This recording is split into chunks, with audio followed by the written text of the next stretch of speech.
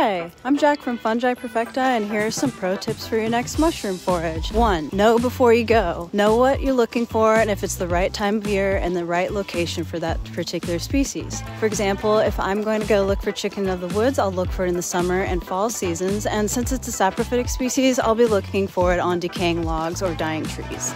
Two, be kind to the environment by following the rules. Some places are environmentally protected or may require a permit in order to forage, so please do your research. 3.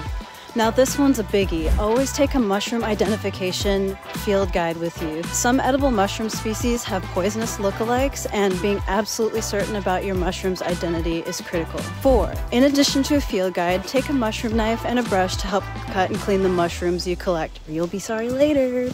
And five, for one more expert tip, when taking your mushrooms back with you, keep them in a woven basket or cloth so you can help spread spores as you walk.